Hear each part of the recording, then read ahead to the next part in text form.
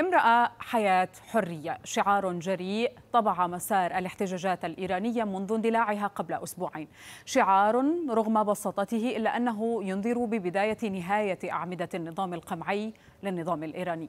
ويمثل لحظة مفصلية في الانفصال التدريجي لرجال الدين الشيعة عن القوى القيادية في المجتمع الإيراني.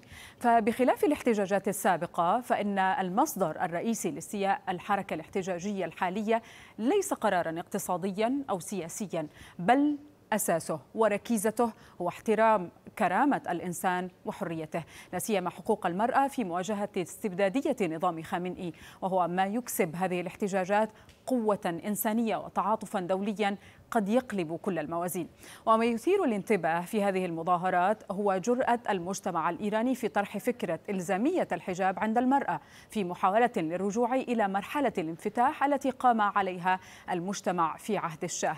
وذلك يعكس تطورا جوهريا بوعي المحتجين فحتى أبرز النقاد والمنشقين السياسيين الأكثر علمانية وليبرالية قد تجنبوا باستمرار الاعتراف بالقمع المنهجي الذي يمارسه النظام على حرية النساء وكرامتهن